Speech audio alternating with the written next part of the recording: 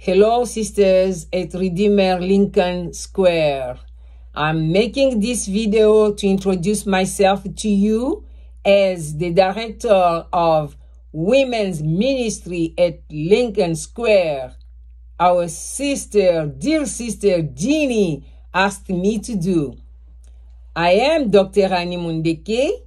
You can call me Annie, Sister Annie, or Dr. Mundeke as my student called me, but please call me Annie or Sister Annie.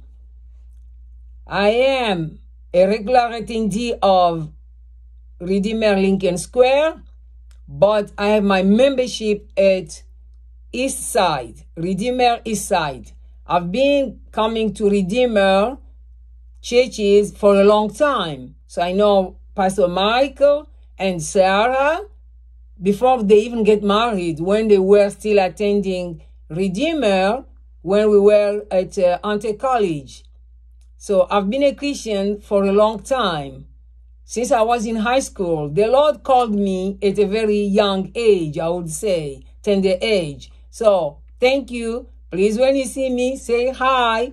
Annie Mundeke. Thank you. Bye. God bless you. May the Lord bless you richly in his precious name, the matchless name of the Lord Jesus Christ, God Almighty, the only true God. Amen.